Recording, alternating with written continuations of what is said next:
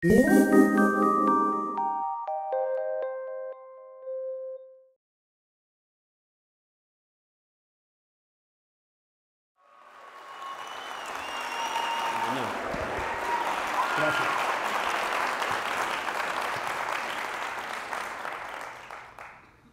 posible hackear la vida? Primero pensemos en todas las actividades que la vida contiene. Pensar, amar, hacer cosas, construir, crear, hacer negocios, compartir ideas. Todas estas actividades se pueden ejecutar de diferente forma. Hay más de un camino para llegar al objetivo en cada una de ellas. Esto quiere decir que ante nosotros no tenemos rutas preestablecidas. Quiere decir que tenemos una serie de opciones que vamos a elegir de acuerdo a la circunstancia. Pensemos en un camino como pensamos en un color y de forma más práctica pensemos en el color rojo. El color rojo existe en la medida que el amor y el arte existen. Son cosas que percibimos. Pero no es algo concreto, no hay un solo color rojo. Lo que tenemos frente a nosotros es un espectro infinito de colores rojos. Tenemos tonalidades que escogemos a voluntad.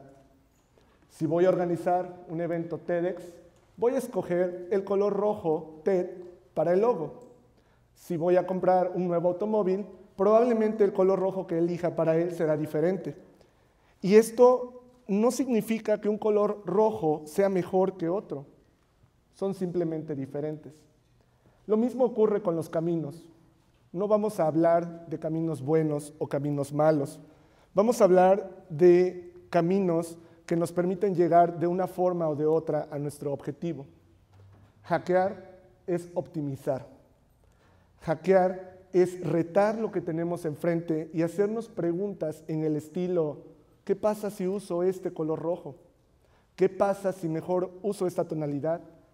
¿Qué pasa si cambio de color? Hackear la vida es optimizar nuestra existencia. Hackear la vida es algo que tenemos que intentar hacer de forma natural a través de diferentes estrategias y técnicas. ¿Cómo vamos a hackear la vida? Vamos a empezar por silenciar lo que es el aplauso inmediato, la validación instantánea. La validación instantánea es una adicción artificial al aplauso en el momento. Y esto es peligroso porque nos desenfoca de lo más importante, el largo plazo. La validación instantánea es emocionarnos y aplaudir por la obtención del título universitario cuando en el largo plazo lo más importante debe ser aquello que creamos para el mundo, en parte gracias a la experiencia universitaria a la que nos expusimos. Hay una gran diferencia.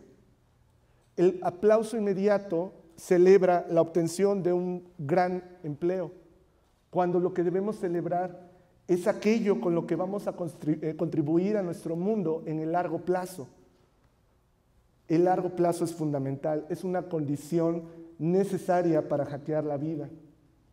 El largo plazo ocurre en situaciones como Einstein al terminar de escribir su primer gran artículo revolucionario. Einstein no recibió el premio Nobel al momento de poner el punto final en ese artículo. Kennedy no recibió la gloria al momento de terminar su famoso discurso para el lanzamiento del programa espacial norteamericano. Tuvieron que pasar muchos años. La gloria está en el largo plazo y tenemos que enfocarnos en él. Para ello necesitamos combatir la validación instantánea. Tenemos que combatirla, tenemos que silenciarla.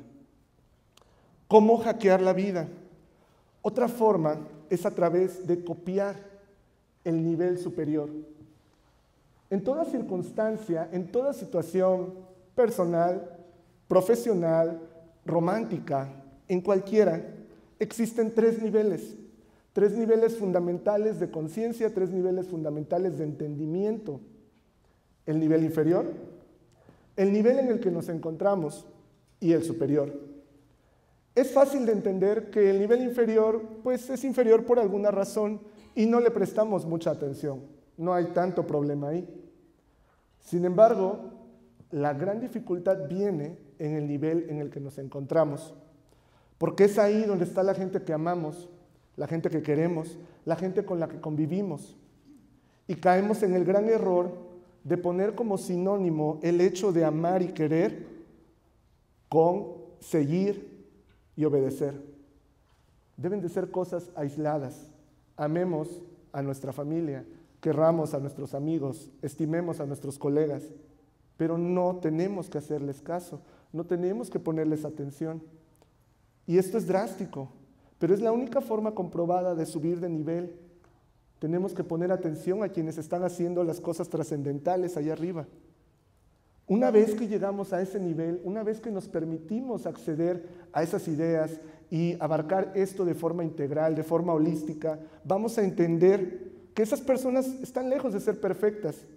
Lo que están haciendo son cosas audaces.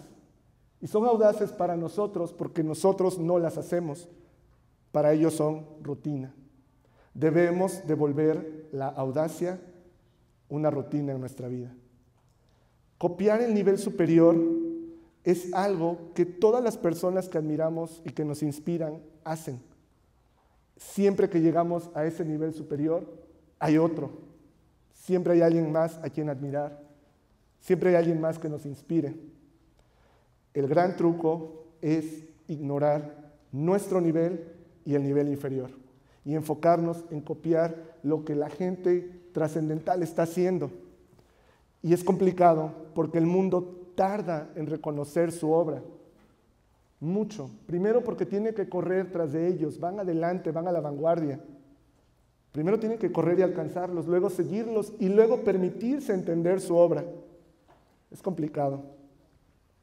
Una forma efectiva para hackear la vida es copiando descaradamente las mejores prácticas del nivel superior en el que sea que queramos insertarnos. ¿Cómo hackear la vida? Otra idea es a través de permitirnos visualizar la audacia que está en nosotros. Somos audaces genéticamente y lo vamos limitando, lo vamos disminuyendo. ¿Cómo poder comprobar esto? No es natural estar de pie, estar erguido, estar en posición vertical. Es todo un reto de la física.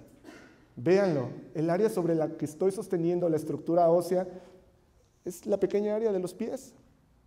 Es más cómodo estar en nuestras cuatro extremidades gateando, es seguro, es lo que aprendemos a hacer primero. Y sin embargo nuestra biología nos empuja a caminar, a movernos así. Y lo logramos. Esto comprueba que venimos preparados para ser audaces, pero tenemos que ser audaces sistemáticamente. Si ya hacemos algo audaz, hay que hacer otra cosa audaz y retomarlo con el punto de volverlo rutina. Necesitamos ser audaces sistemáticamente, tanto que sea segunda naturaleza, tanto que sea parte inherente a nuestra personalidad. Tres puntos, tres ideas sobre cómo hackear la vida, silenciando la validación instantánea, copiando el nivel superior y, sobre todo, siendo audaces. Venimos preparados para ser audaces. Nuestra biología, nuestro espíritu, nuestra alma nos lo dice. Tenemos entonces que ser audaces y serlo ahora. La pregunta, ¿es posible hackear la vida? Sí, es posible. Todos, todos podemos hackear la vida.